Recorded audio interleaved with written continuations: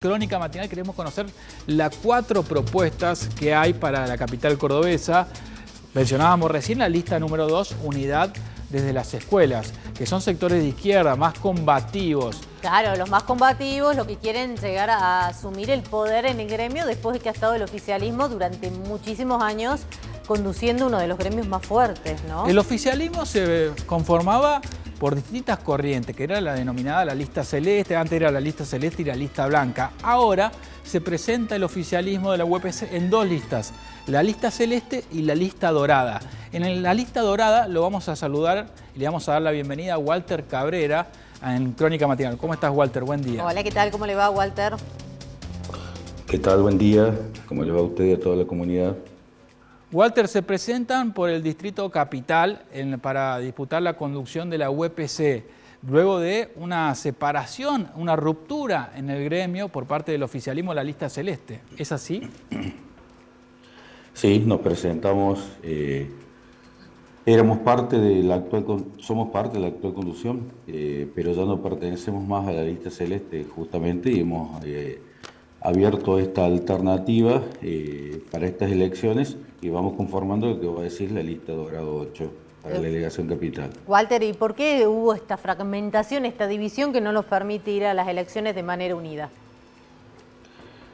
Hay diferencias en la construcción política y en la construcción gremial que hicieron imposible poder seguir y lograr acuerdos, eh, dado que desde los posicionamientos y los espacios políticos de debate y discusión que nosotros planteamos no son los que nos han permitido quienes conducen y son los responsables de la actual conducción. Entonces, estas diferencias que ya venimos planteando desde hace largo tiempo, nos fueron haciendo que tomáramos la decisión hoy de ser un espacio independiente para poder presentarnos como una opción viable y con la posibilidad de poder conducir con un equipo preparado para poder conducir la delegación y el sindicato. Walter, en ese marco, ¿Ustedes han tenido diferencias respecto a las negociaciones encaradas con el gobierno provincial de Schiaretti y lo que se va a venir ahora con el nuevo gobierno el año próximo, Martín Yayora? Sí, justamente. Creemos que la forma de, construcción tenemos que plantear la construcción de un salario diferente.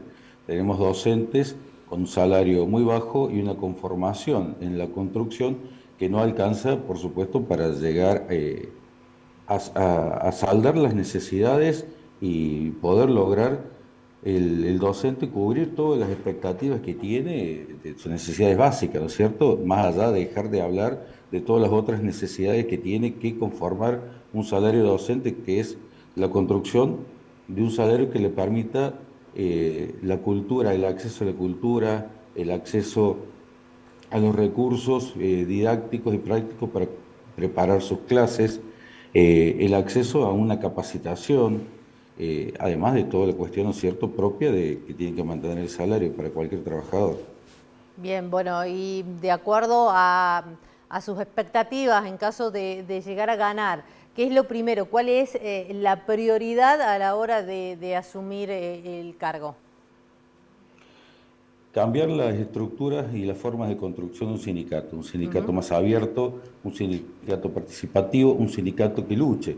Creo que nosotros tenemos los cordobeses docentes que se plantan, docentes que se paran, docentes que luchan, docentes que tienen convicción. Creemos que tenemos que pararnos de ahí para luchar. Hay dos elementos fundamentales que discutir, que lo salarial en cuanto a los jubilados, la recuperación del 82% móvil, un salario digno que alcance al docente a cubrir todas sus necesidades y además condiciones laborales.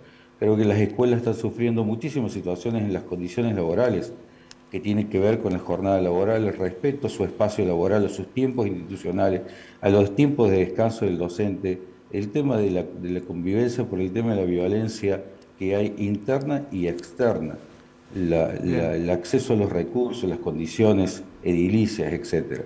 Walter Cabrera de la Lista Dorada, muchísimas gracias por este contacto con Crónica Matinal de Canal 10. Muchas gracias, muy amable. Muchas gracias a ustedes. Que tenga lindo día. Vamos conociendo las distintas propuestas. Hoy fue el caso de la lista dorada y la lista dos unidades de la escuela. Mañana le tocará el turno a la pluricolor y a la celeste. Vamos a tener las cuatro listas.